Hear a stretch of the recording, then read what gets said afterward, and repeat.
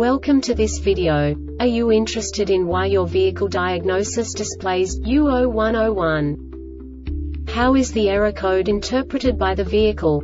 What does U0101 mean, or how to correct this fault? Today we will find answers to these questions together. Let's do this.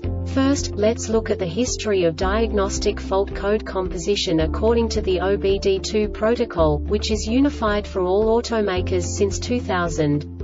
We divide the electric system of automobile into the four basic units. Powertrain, body, chassis, network. This distribution is defined in the first character code.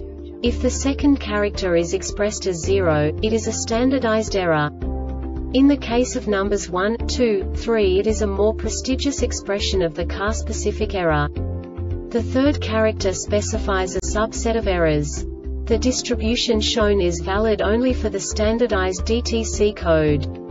Only the last two characters define the specific fault of the group.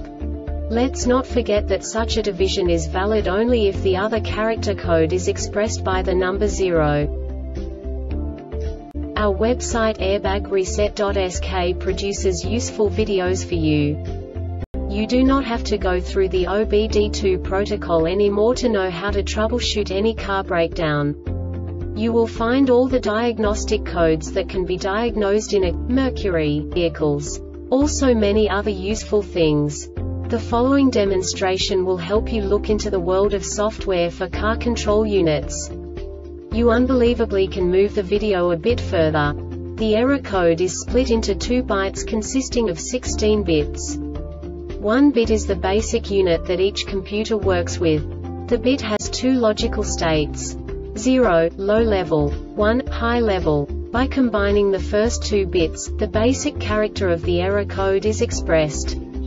The next two bits again determine the second character. The last beat styles of the first byte define the third character of the code. The second byte is composed of a combination of 8 bits. The first 4 bits determine the fourth character of the code. And the combination of the last 4 bits defines the fifth character. A single byte conceals 256 possible combinations. We now know in what way the diagnostic tool translates the received information into a more comprehensible format. The number itself does not make sense to us if we cannot assign information about it to what it actually expresses. So, what does the diagnostic trouble code U0101 interpret specifically Mercury car manufacturers? The basic definition is Output air temperature sensor 2 circuit short to battery or open. And now this is a short description of this DTC code.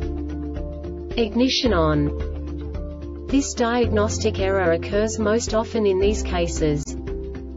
The HVAC control module detects the air temperature sensor signal circuit is less than 5 counts or greater than 250 counts. The Airbag Reset website aims to provide information in 52 languages. Thank you for your attention and stay tuned for the next video.